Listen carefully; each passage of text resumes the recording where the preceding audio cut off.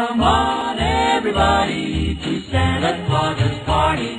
You may be sure both rich and poor are welcome at Santa's door.